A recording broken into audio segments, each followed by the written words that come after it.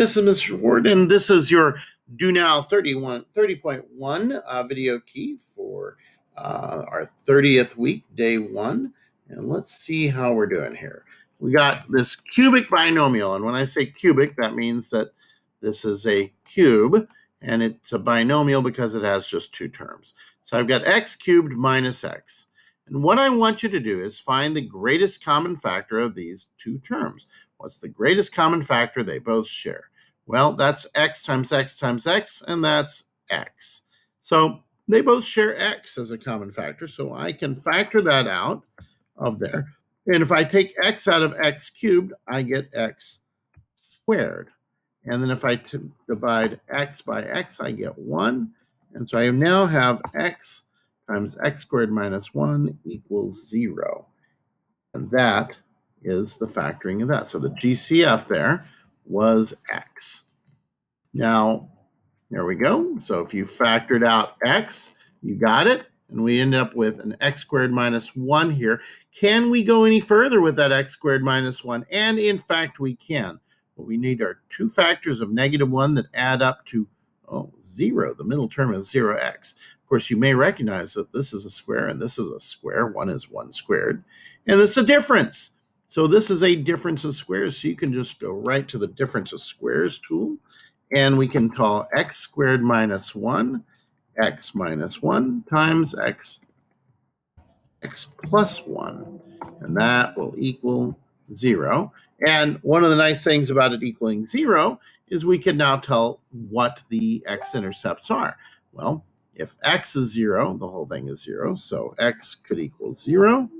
Uh, and x could also equal 1. That would be an x-intercept. And x could equal negative 1. Okay. Let's take a look at the next one. Here we have 3x cubed minus 12x, and we need to come up with the greatest common factor between those. Well, there's an x in both of them. There's three factors of x here and one factor of x here. So I can definitely pull an x out. 3 and 12 share a factor of 3. So I can pull a 3 and an x. And so 3x cubed is just going to be x squared.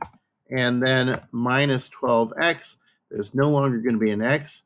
And the negative 12 divided by 3 is going to be negative 4. And that equals 0, of course. And so our greatest common factor was 3x, and we were left with x squared minus 4. So here we have exactly that. 3x times x squared minus 4. Can we go farther? Can we factor x squared minus 4?